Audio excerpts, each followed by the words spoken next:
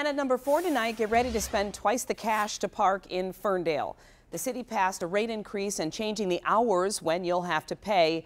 And it's all to help fund a new parking deck that will add more than 260 spots in the future. 7 Action News reporter Brian Abel is live in Ferndale, where there was some opposition to the plan. Brian.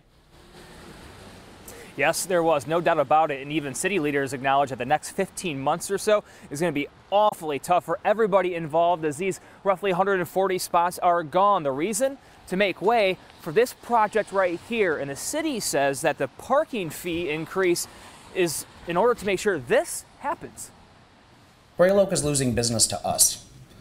You will change that. You throw a 100% increase at us, we're a little like, wow. Ferndale City Council unanimously approving a 100% increase for city parking spot fees, along with two more hours per day that they'll be enforced. Additional cost to, to satisfy a parking crisis that we've had in our community for many years and also build something that we can be proud of in the end is going to be worth what is admittedly going to be a very inconvenient 15 or so months. The city says the new revenue is needed to help pay for the new $20 million capital investment parking structure because investors consider the project riskier than road investments and therefore need more cash in escrow as collateral.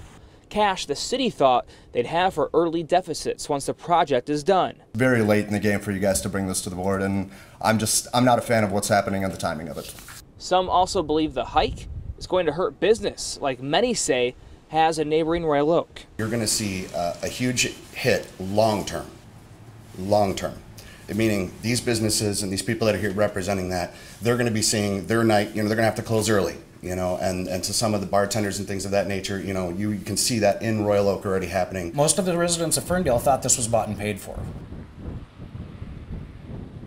Now the changes won't start until April and instead of 50 cents per hour at a meter, it's going to be a dollar an hour and instead of 10 o'clock in the morning until 9 o'clock at night for enforcement, they're moving it from 11 o'clock in the morning until midnight. Reporting in Ferndale tonight, Brian Abel, 7 Action News.